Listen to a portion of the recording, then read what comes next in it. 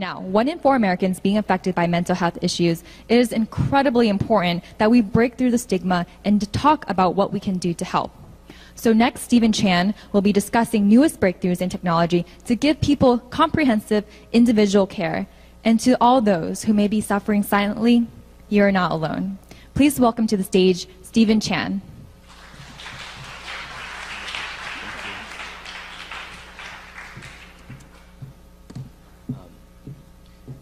Who here has been inside a hospital before? You, y'all have been because you were born one, right? How many have you? How many have uh, been or visited to uh, a psychiatric hospital? Okay, a couple of them. So imagine that you're in a psychiatric hospital. It's a psychiatric ward, and it's not like you see in the uh, TV or the movies, television shows. Imagine a place that's like a hospital, except it's much calmer. There are no wires, there are no devices, there's nothing that people can strangle themselves with or trip over. Um, it's a calming environment with gardens, very sort of bland and boring environment. And imagine you're the medical student on the service in the psych unit. You hear your name being called out in my case, it was Steve Chan, Steve Chan, Steve Chan. And I turned around and I saw one of my friends there. And I was wondering, what is she doing here?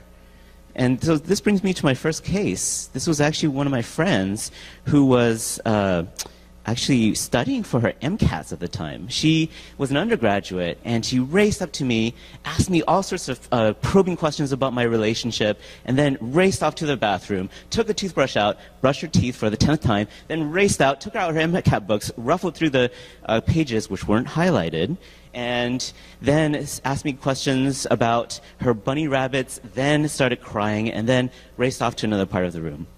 She was manic. She had something called mania.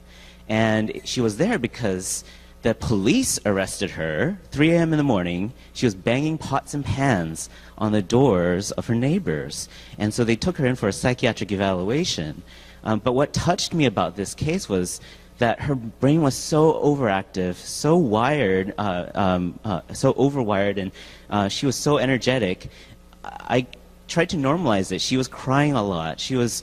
I, I felt like I, I I wanted to be there for her and try to normalize her experience. And I didn't realize that, look, this could happen to any of us. And, you know, and, uh, and I was there to just support her. I wasn't her doctor at the time. So uh, if you're wondering what we think of as doctors, we think about all sorts of numbers, all sorts of vital signs. Heart rate, breathing rate, temperature, um, you know, a lot of lab tests, and we chart it over time, left to right. You know, it could be day to day, hour to hour, sometimes month to month.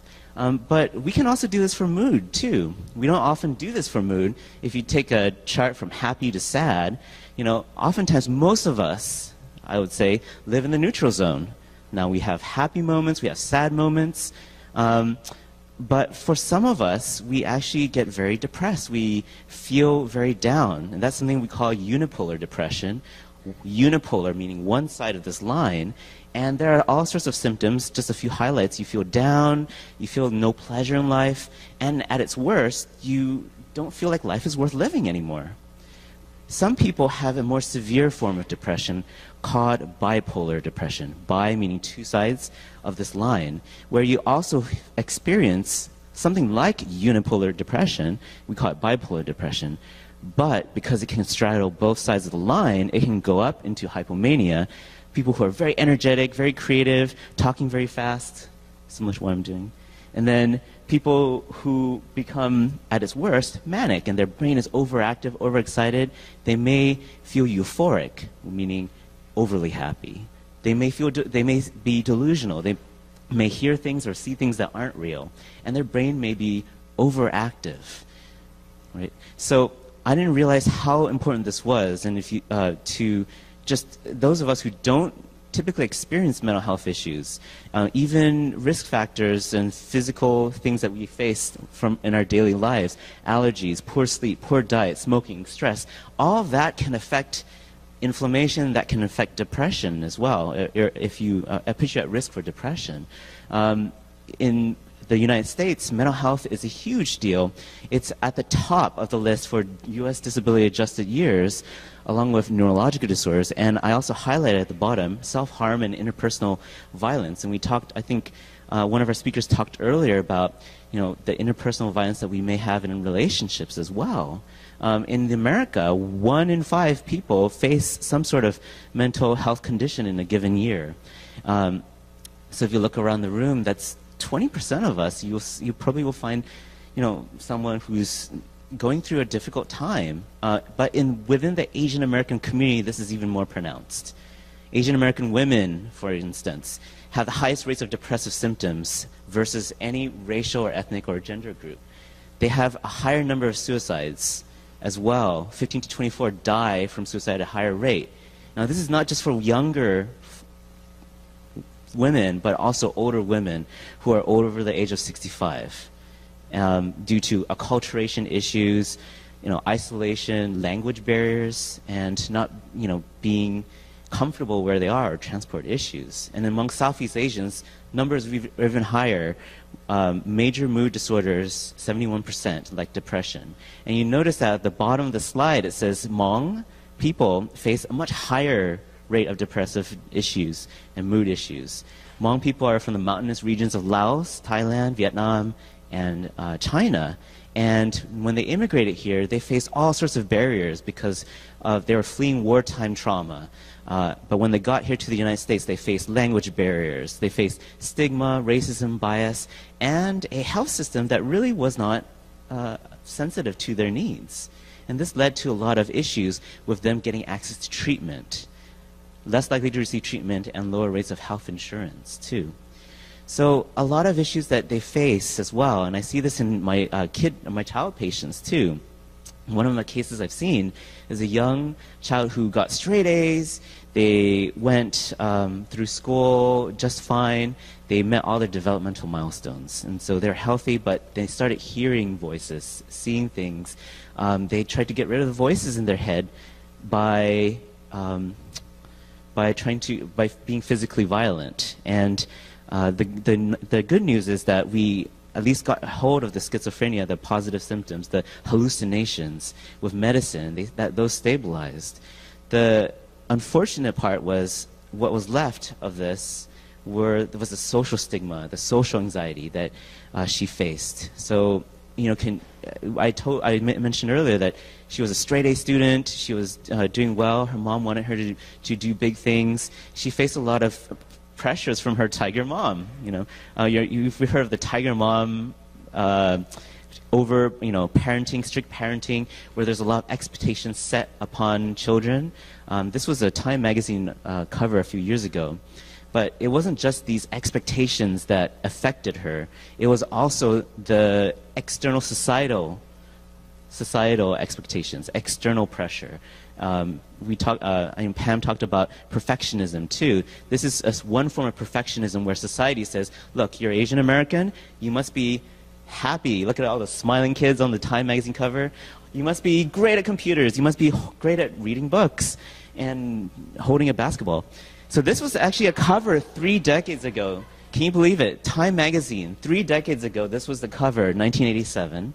And this is still being talked about within the Asian American community as well. You know, where does this all come from? Well, this is a table from um, cultural psychiatry, and it talks about how different religions influence Asian cultures, Confucianism, respect for authority, self-development, scholarship. If you're not reading a book, you're not, you know, you're not doing your job. Um, Buddhism, you know, a lot of the reason why we don't seek help is because we feel like we deserve it. You know, it's, Buddhism is where you feel like human life is full of sorrows. You um, you kind of deserve what is coming to you. You know, these are some of the beliefs that underlie some of the Asian culture that prevents uh, many people from getting the care that they need. Um, and, the, and I talked about the external sort of pressures that we that Asian Americans face there's that myth of the model minority, right? That the Asian Americans are the model minority because they do so well. But the reality is that a lot of, uh, almost a majority of them, uh, well, 40% don't finish high school. Um, you know, in the most recent market collapse, uh, Asian American Pacific Islanders suffered the largest percentage of foreclosures of any racial group. And I'll read this out because I don't think you can see this. From 2007 to 2010, Asian American Pacific Islanders had the highest share of long term unemployment. Unemployment of any racial group. So I don't know where the model minority comes from if we're all unemployed and we're not finishing high school and we're, not, we're getting, our houses are being taken away. You know, so that's, uh, you know, that's the reality that we face. You know, we're, tr- we're expected to do well. We're expected to get management positions, to be leaders. Yet, if you look at this chart, the arrows that will show up, whoop, there we are.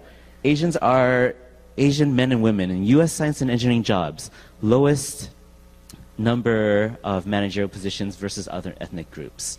Um, some business consultants have written about this. They call this the bamboo ceiling. You know, because we talk about the glass ceiling. Glass ceiling is where, um, you know, women and fem- you know cannot reach those higher managerial positions. Similar thing with Asians is something called the bamboo ceiling. Um, perfectionism, we talked about this earlier, and that can lead to a lot of issues. Obsessive compulsive personality, which is different from obsessive compulsive disorder eating disorders, when you feel like you're not pretty, you're not good enough, you're, you're not thin enough, depression and social anxiety, which is something I've faced myself. 15 years ago, I can tell you, I can promise you, you would not see me on the stage. But I had to force myself to overcome this perfectionism and fear of not uh, being rejected. So this is uh, something that I feel like a lot holds us back as well, and there are a lot of resources for this. Um, and then even at its worst, you know, this is something I see in my patients. Are they really depressed? Have, do they have suicidal plans? Like they desire to uh, harm themselves, or and they're doing drugs, they're using alcohol. Those are the, th- the warning signs. And I'm mentioning this so that you can know if you see this about this, if you see this within yourself, or if you see this within your colleagues or your friends as well. Um, so that was a lot of the bad news. That's, those are a lot of the problems. But the good news is that there's a lot of people who are working on this. And I feel like since we're all entrepreneurs, innovators, really empowered people, that we can all like try to do something about this issue of mental health within the Asian American community and the American community. Um, I am a physician at UC Davis, and we have a, a a, pro, a, program called the Transcultural Wellness Center. And this is Dr. Hendry Ton. He's a UCSF trained psychiatrist, and psychiatrists, we are physicians for the mind, brain, and body. And he actually put together a program that works with Hmong, Laotian, Vietnamese, Koreans, Chinese people, all sorts of people who speak the same language for those immigrant populations who are facing a difficult time uh, over in the Sacramento region. I, I, I, am able to learn from folks like Dr. Russell Lim. Russell Lim is a, an expert on cultural psychiatry who has spoken about Asian, Latino, uh, African, and LGBT mental health issues. Um, one of my coworkers, Pachida Lo, she is uh, a co-resident with me, and she is the first Hmong female psychiatrist in the nation. She's the first. And I am really grateful that she and I are in the same you know, same program, and she's training alongside with me. Um, and I bring her up as, a, as an example. She's Hmong, and her parents were the reverse of this perfectionistic ideal. Her parents discouraged her from going to medical school. Her parents didn't want her to go to medical school. They didn't want her to become a doctor. They wanted her to stay at home and take care of the kids. And she's defying them. She's now she's transcended that and she's following her dreams. So the it's not just the uh, issue of Asian Americans as a model minority, but also the fact that we're such a diverse people that not all of us are the same. We all have our own individual and cultural needs too. Um, professional business coaches, such as my uh, one of my colleagues, Preston Ni, has been talking about Asian American and women communication, female communication issues in the workplace, and even the popular press has been talking about this. Um, language issues among Asian uh, older Asian women, uh, as well as highlighting UC Davis's work in um, the Asian population as well. They, and so I see this, I see a lot of these issues with uh, my patients. Um, and one of my one of the final cases I wanted to discuss was uh, a woman I saw who was facing uh, her, her her boyfriend actually took her in to get evaluated, and she said that her um, her boyfriend actually was um, controlling her a lot. was very abusive, emotionally abusive. He had several restraining orders against him from other ex-girlfriends and he was uh, to intimidate her he was destroying property in front of her punching walls uh, and even looking through her smartphone call logs messages and all the um, sites that she's visiting so i was like well he hasn't threatened you yet but this is, these are all huge risk factors for domestic violence. Can we come up with some kind of technological solution to help you escape? You know because her phone was all she had at this moment she didn't have any money. So there I was, after hours in the clinic, helping her find and download Android apps to hide her phone call logs and her messages so that she can punch in a secret code and then boop, she can call for housing. She can call for a women's shelter. You know, can we use technological solutions that, to extend the reach of, you know, the really, really frayed services that we have in mental health and society too? There are a lot of apps that are being created right now, a lot of platforms and a lot of devices. And I think that this is something that we can all look at. Telemedicine, video visits, devices, and I, am all, this is being tweeted on, online too, so if you wanted to can grab the slide. But last year, a good majority of mental health startups were created in 2015. Um, so there's a huge opportunity because the system is so fragmented. You know, there are even experts that are getting into the space trying to find out what they can do for depression and schizophrenia. The head of the National Institute of Mental Health, for instance, Thomas Insel here, joined Google's uh, life sciences arm, and he writes that technology can cover much of the diagnostic process, and it can help with treatments and interventions, and it can be done through a smartphone. Smartphones can detect mood. Smartphones can help with um, making sure that you're not near a bar, even if you have an alcohol addiction uh, issue.